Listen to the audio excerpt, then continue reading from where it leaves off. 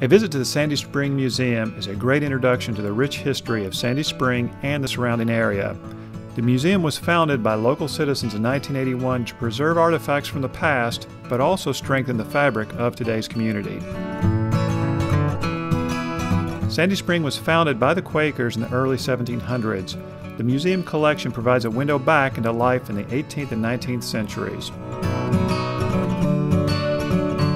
Quakers were very innovative farmers, but they were also very progressive who placed a high value on education, abolished slavery long before the Civil War, and were very early champions of women's rights.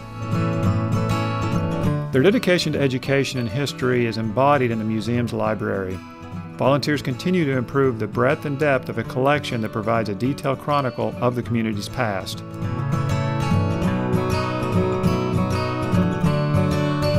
But much more than a keeper of history, the museum is committed to enriching daily life of the community.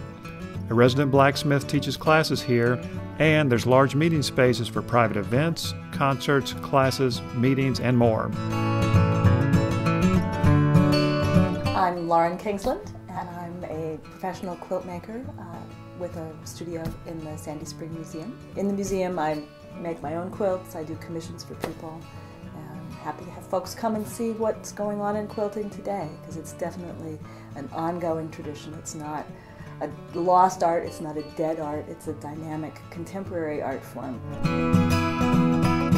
You can start to get a great feel for the history of this community with a visit to the Sandy Spring Museum. Get more information at their website, sandyspringmuseum.org. If you want to learn about Olney Sandy Spring and the surrounding area, you can go to mocorealestate.com forward slash olney. Thanks for watching.